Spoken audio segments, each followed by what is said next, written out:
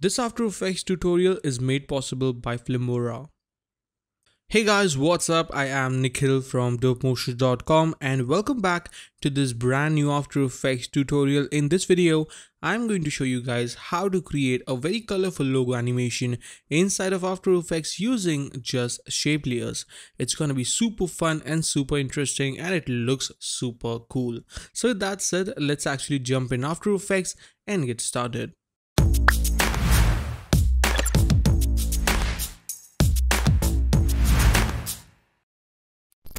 Filmora is a user-friendly, easy-to-use video editing software. Its powerful editing features makes it easy for you to edit your videos. Filmora Video Editor is the best choice for beginners for simple video editing needs. It provides lots of special effects with over 200 types of filters, text, transitions, music, overlays, elements and more.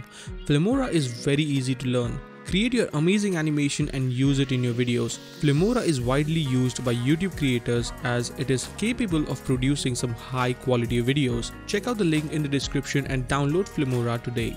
Also, they are giving away 5 monthly licenses to 5 of you guys absolutely free. All you have to do is comment down below in what way Filmora can be helpful to you. 5 winners will be selected from the comments who will receive the free licenses. With that said, let's get back to After Effects and get started. Alright guys, so here we are in After Effects. Let's start off by creating a new composition. I'll call this main 1920 by 1080. Let's make this 30 FPS and keep it 10 seconds long. Hit OK then I'm going to create one more composition which is going to be our background which are those circular animations which is the highlight of the show to be honest of this tutorial. So let's call this BG for background. You can of course call it whatever that you want. I'm going to hit OK. Then go into the shape layer and let's select the ellipse tool. Double click to create an ellipse. We don't need any fill so I can click on fill and I'll set this to none. I just want the strokes. So I'll set the stroke to around 120 pixels for now.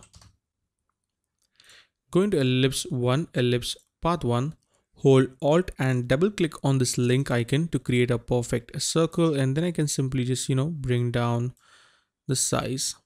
So I'll keep it at 4 actually and let's keep it somewhere around there. So it covers up the complete, um, you know, the complete empty space and it looks like a circle let's go to around i'll go maybe let's go to 20 frames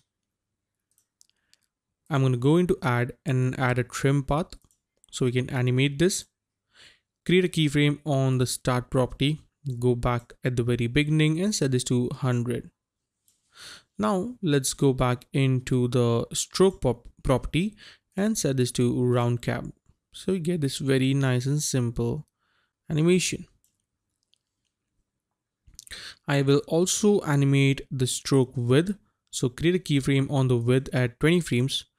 Go at the very beginning and set this to 0. So now we have a nice and simple animation. Let's go back right here. Select the layer, hit R to reveal the rotation properties create a keyframe, bring that keyframe at the very beginning and I'll set this to maybe minus 180. So now we have something like this. Pretty cool. Select the layer and hit U so we can see all the keyframes that we created. So hit F9 to easy ease those keyframes. Go into the graph editor. Let's move the time indicator in the very center. Then I'll select this point and drag this handle to the right holding shift. Just a touch. Select this point and drag the handle to the left holding shift.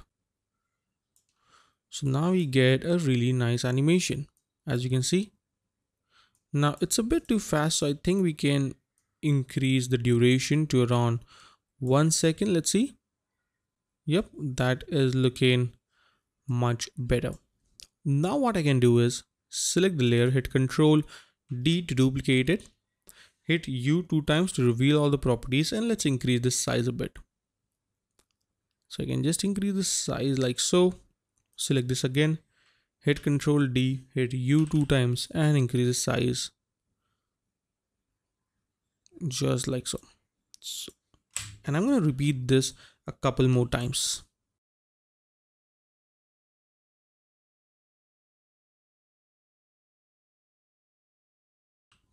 So now you can see I have created 10 copies. So now if I preview this, you can see we get this really cool looking animation. Now to make it look even more cooler, what we can do is change the rotation position to something random. So what I can do is let's select the first layer, go into effects and preset and type in transform. Double click to apply that up and give it a different rotation property. So I can set this to let's say minus 90 so now it will now rotate from a different uh, rotation point. Same way I can just simply or randomly change the rotation property of all the layers. So I can just select the transform property, hit control C, select all the layers, hit control V to paste the transform property. But this time I'm going to make them random.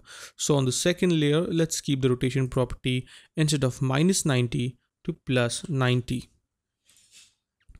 on the third one we can go with let's say minus 125 for the fourth one I'll go with plus 90 for the fifth one I'll go with maybe let's go with minus 90 for the sixth one I can go with minus 15 for the seventh one I'll go with minus 180 for the eighth one I'll go with plus 215 for the ninth one I'll go with minus 15 and finally for the 10th one let's go with minus 180 so now if I preview this you can see we get a really cool variation into the animation but we are not done yet. One more thing that we can do is if I move three frames forward so hit page down three times to move three frames forward select all the layers hold alt and close square bracket to crop them up. Also make sure you select the first layer then hold shift and then select the 10th layer. Go into animation keyframe assistant and sequence layer. Hit ok. And now we have something like that. And then let's actually stretch the layers all the way up. So now we should have a really cool variation as you can see. Now let's go back into our main composition. Let's drag and drop that BG that is the circular animation that we created. Also hit control Y to create a new solid, you know, call this BG again for background. Hit OK. Let's drag and drop it at the back. Go into effects and preset and type in fill to add a nice color for our background something like that looks good so I can select this again I'll add a fill on this. And let's actually move this to around maybe one second. Okay. And I'm going to use the same color so I just want to see the which colors that I use. So it was blue a nice pink and a yellow. So let's select this one, make it a nice blue color. Hit Control D duplicate it. Let's move this few frames forward. Set this to a nice pinkish red. Let's see, that is looking good maybe. I'll make it a bit more pinky. Okay. Hit Control D again. Let's move this one and make this yellow. Also, I, I can select the red color or the red layer, hit R and rotate this by 180 degrees. So we have a bit more variation as you can see. Yep, that is looking very nice. Now let's create a circle we don't need any stroke we just need the fill all right and again i can just double click to create a circle go into ellipse hold hold alt and double click on the link property and make this around 100 pixels i think. That is even too big so let's go to 50 or maybe 40 okay 40 is perfect? So I'll select this layer call this dot. You can call it whatever that you want. I'll call it dot. And let's animate this. So select this layer hit P create a keyframe hit go back and let's move this down just like so. Select the keyframes hit F9 to easy ease those keyframes. Go into the graph editor. Select the point and drag this to the left just like so. So we have a really nice animation. And then I'll select the layer hit S and we can actually scale this up. So create a keyframe on the scale property go to around 20 frames. Or I think 10 frames should work. And scale this up just like that maybe this big. Okay and on the scale property i will be adding a very cool expression that will give it a nice um, bouncy or overshoot movement. So i'll select this expression hit control c hold alt and click on the stopwatch hit control v and by the way you can download the complete project file from the link in the description where you will get everything from expression to all the assets that i'm using in this animation so now you can see in the scale, we have a nice bouncy movement. Also, I want to make it a bit more faster. So yep, that is looking super cool. Also, we need to move this background a bit forward like so maybe. So let's see. Yep, that is looking very nice. I think the yellow background should start a bit more early. So I'll move this one a few frames forward.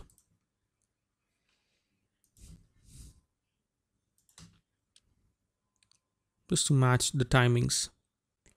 Yep, that is looking very nice. Now let's add a logo. So I'll create a new composition, call this logo for the height and width, I'll set this to around 200 by 200 pixels and drag and drop in. So I'm using this new Mean Machine logo, which I think looks pretty cool. So I'll drag the logo composition just like that. And let's move this right over here. So I'll go to five frames, create a keyframe on the position go back and move this up just like so. All right.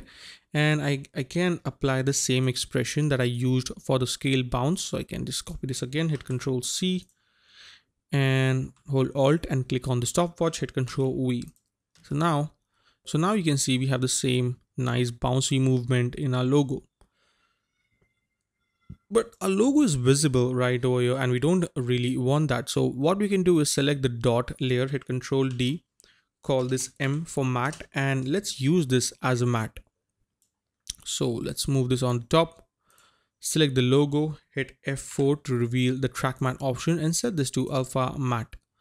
So now you can see we have a nice look so if i preview this you can see we have this really nice animation. Very cool. Also, I can add some burst animation that I already have right over here and I, I already have a tutorial on creating this kind of burst or accents or pop-ups whatever that you want to call it the link to uh, the link to the tutorial in which I show you how to create this will be in the description and also in the i button above. So make sure you check that out. So I can just simply drag and drop them on the top. And there you go. So as you can see, using some very simple technique, you can create a very cool looking logo reveal inside of After Effects using just shape layers. So I hope this tutorial was helpful and if it was, make sure to subscribe, comment, like and follow me on Instagram at dope.motions. We are about to hit 20,000 followers on Instagram which is super freaking awesome my goal was actually to reach 10000 followers by the end of this year but we are gonna be reaching 20000 and that is blowing up my mind so yeah make sure to follow me on instagram at dope.motions and i will see you guys probably next year with a brand new tutorial. Till then take care and always stay raw stay creative. Peace out